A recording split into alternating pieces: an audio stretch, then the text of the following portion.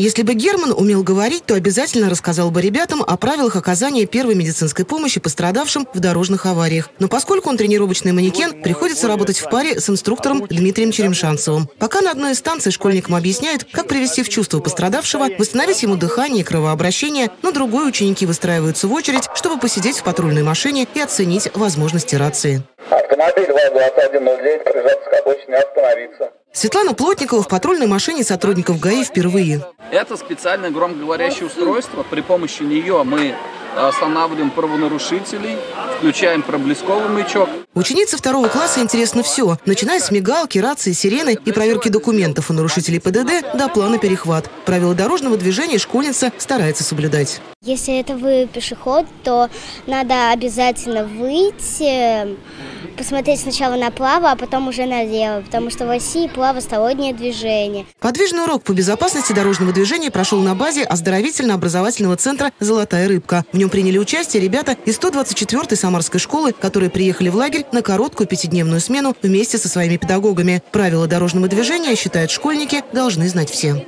Чтобы не травмироваться, не попасть в аварию, чтобы тебя не сбила машина, чтобы не было больно, чтобы ты ничего не переломал. Учащимся продемонстрировали возможности выездной лаборатории ПДД, представив четыре станции. Оборудование комплекса позволяет моделировать дорожные ситуации и обучает правилам безопасного поведения на дороге. Организатором открытого урока для школьников стал Центр дополнительного образования «Искра». Детям очень нравится. У нас интересные станции, дети катаются на веломобилях, э, изучают дорожную карту. Мы в это лето ездили по всем лагерям, которые относятся к департаменту образования, и на следующий год, конечно, обязательно. Школьников познакомили с оборудованием и техническими новинками, продемонстрировав возможности лаборатории ПДД, среди которых веломобили, модели светофоров, наборы различных плакатов, настольные игры, манекен «Первая помощь» и многое другое. Такие выездные занятия, они оставляют значимый след, и мы считаем, что определенные навыки получаются ими, и в дальнейшем они будут их использовать для своей же безопасности.